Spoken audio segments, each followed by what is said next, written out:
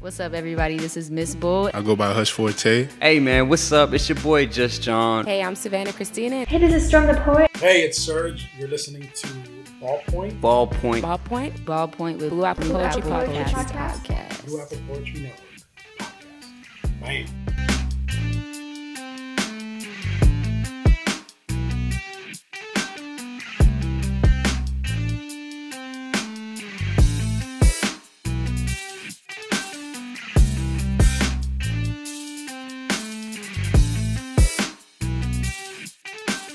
It's your boy, Just John, and this is Ballpoint with Bluapple Poetry Podcast. I hope you guys have been enjoying this behind the scenes look at hashtag LTAB FLA 2021 so far. It's been an amazing experience just to see these awesome poets get, get up on the stage. Last yesterday, actually, we had an awesome, awesome coaches slam competing for a, a coach's title, and that was an amazing experience watching these coaches battle and go head to head. And so we just want to give these special episodes out to you guys and just be a little bit more exclusive on what we're going to be promoting and pushing out for you all. So, just so you guys know, we have our indie finals coming up. We will be dropping the top 10 poets on hashtag LTAB FLA on Monday at 2 p.m. Right? So, Monday at 2 p.m., you guys need to log on, check out this Ballpoint with Bluapple Poetry podcast so you guys can get the exclusive on what 10 poets will be advancing to the indie finals on April 16th right? So with that being said, we have a couple events coming up. Yesterday we had the Coaches Slam. Shout out to Miss Prosper representing Hollywood Hills for winning the trophy for the Coaches Slam. Awesome job. Um, April 10th is our semifinals. Our semifinals, we will be competing for not only team finals, but indie finals as well. So all those poets will be gathered in the space all day semifinals on April 10th. So make sure you guys check out the link. Make sure you guys follow us on Instagram and Twitter. Make sure you guys check out our YouTube live because we will be promoting all of our events right though right there on those pages. All right. Next up, we have April 12th. We have the town hall. So these this is for all my advocates, all my poets. All of you guys have been getting up on stage and showcasing what you guys have, what you guys want to talk about, and just being a voice in the community. And so town hall is a great chance and opportunity for you guys to not only network with your peers and fellows, but not have to compete, right? Just have a conversation. Talk about these poems we've been sharing. Talk about your experience, right? Talk about your day to day, your virtual experience. This is your chance to do that. And so, the April 12th, we will have the town hall. Make sure you check that out. We have April 14th, the alumni open mic. That's going to be amazing. I already know you guys are going to tear off the roof with that one. That should be such an awesome experience. April 15th, we have the Amped Up Teaching Artist Showcase. Myself will be performing as well as some some of the most fire spitters in all of South Florida. We will be showcasing what we've done over the course of this year. Um, and then, of course, as I said, April 16th is the Indie Finals. That will be virtual. So you could check out that on our YouTube Live. And April 17th at Florida Memorial University at the Lou Rawls Theater, we will be doing the team finals in person. So that should be an awesome experience. Hope you guys stay tuned for that as well. I wanted to talk today all about strategizing, right? Strategizing for semifinals and what that looks like. And so some poets maybe showcase or getting ready, preparing for the indie finals. They have maybe three to four poems that they have to prepare for, not only memorize, but perform, whether it's on a video or it's in person. Um, and so teams as well, collaborating, maybe there's some tweaks, some edits, maybe you guys felt like there was some revisions that need to be made, right? And so we're going to talk all about not depending on the first draft of a poem, right? And so these competitions, we see it advance, we give them the opportunity to resubmit their poems as a video for the semifinals. Just like if we would in in person, you know, in preliminary bouts, you get to compete and you see maybe this line didn't hit or you wanted to change it up. You have the opportunity to do that for semifinals and for finals, right? So we give them that opportunity to resubmit poems. With that being said, um, we see some poems maybe taken out. We see some poems maybe added in. Some poets we we see some rearranging going on in some of these clubs, and so we wonder like, what is y'all strategy? How do you guys prepare for moments like these? And so I wanted to ask one of our Bluapple alumni, all the way from Charles W. Flanagan, Isaac Bright. I mean, I don't know if anybody else does this, but I kind of just talk to people. Like I, I around, I, I interact with different people um, who are going to be there or just my um, fellow teammates or anybody and say what what has been on your mind recently what has been what has been troubling you what's one thing that you think should be should be talked about because i can come up with my own opinions and my own assumptions but at the end of the day that is all in my mind and what i'm thinking may be something completely different from what the audience is thinking so if i go out and i get that audience perspective it can help mold what my piece should be about. Really, what you talked about is really just gauging the atmosphere, right? Reading the room.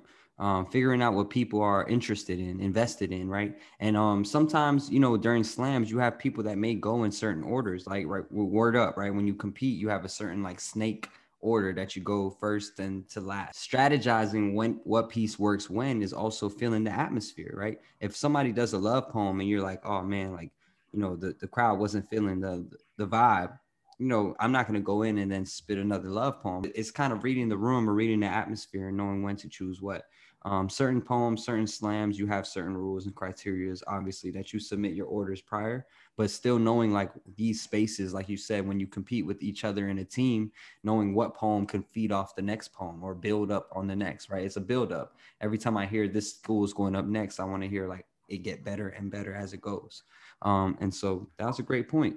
And yeah, this this yeah. is awesome.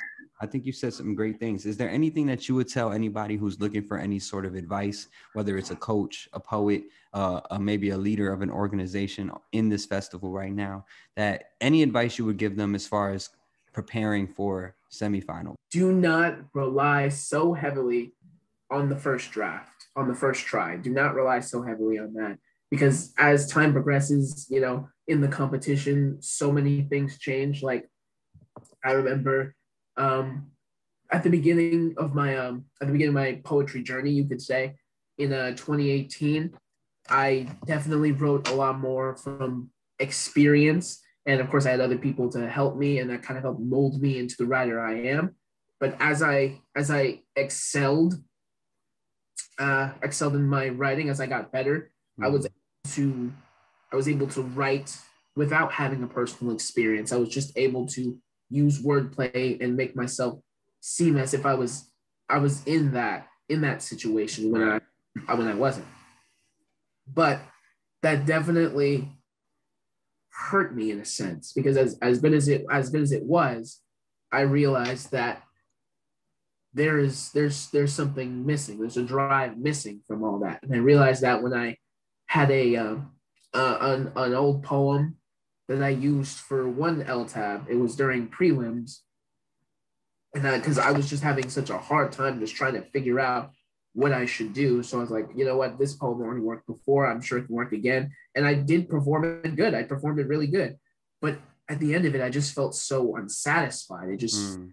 it just felt boring. It, just, it felt like there was no feeling. And then I was seeing all my all my other teammates and peers and they were doing something they were doing something that was really their performance felt more real felt more genuine. Right. I couldn't figure it out. And i was talking with one of my teammates and um, i was like i just don't know what it is. And then he said to me he said to me um well how did you write in the first place?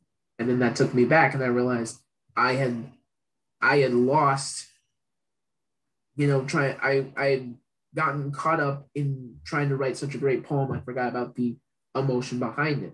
Mm. And it goes back to relying on the first draft because when I was when I was writing all that and I was still having a hard time trying to figure out what am I going to do for LTAB, I was relying so much on this rough draft because it was the way that I wrote it. I felt somewhat confident about it, but I had no idea that it was going to completely change the piece I was originally going to do for uh, LTAB 2019 it was just a poem about you know about me being about me being sick about you know what it's what it's like to be in that position because I felt like it wasn't being talked about enough. Mm-hmm. Then it just didn't feel that genuine because it wasn't something I but at least something intense that I didn't go through. And so then with some with some trial and error and then some more trial and error and then some more trial and error, I um I was ended up talking with another one of my teammates, and then I was just trying to figure out what can I do, what what can connect to me, and then he, uh, my teammate, he said to me, "What about heartbreak?" And I was like, "Well, I haven't done any of those in a while. I haven't Mhm. really how that could do anything." And he's like, "Well, just throw in something random like TV." And then that's how I got the inspiration for Click. I love the power of the remote. The power to switch to something completely different with a simple click. I saw her. The cutest girl in sixth grade. I was the Urkel to her Laura. Every time she would smile at me, my heart would beat like a jackhammer. TV taught me a lot, but I didn't notice how often I switched to completely different emotions. Click. I switched to immediate anxiety. Will she like me? Will she like me? Click. Switched to my cool, suave persona. Said, how you doing? Only to rejection a few moments later. Fast forward. I turned up my volume enough to say hi, and let me tell you, my first date would have been amazing if All right, awesome. That was great advice, Isaac. I remember my first time when I performed on team final stage. I'll never forget it. Miss Clarendon is my witness. I wrote a whole poem dedicated just for this team finals where I was going to shout out names and I was going to kind of name drop some lines and some bars that I had heard over the course of LTAB, right? It's just a reaction poem, really something that um, wasn't so much about my experience, but just more so I knew I was going to shock the crowd, right, with this poem. And um, I was reciting it, reciting it. I remembered it, I memorized it. And so Miss Miss Clarendon was like, okay, this is your chance to shine. I was the first poet in the first round to go up for my team. And when I got up on stage, I changed up. I ended up doing a whole different poem, and for me, it was an it was a it was a open an eye opener for me because I had the opportunity to do that piece, but I resorted back to another poem that I had that I felt more comfortable with right there on the moment, right? And all my team was like, man, like you know, they were like excited and cheering for me, but they were like, yo, why? Like, what happened? Like, you know, why did you switch?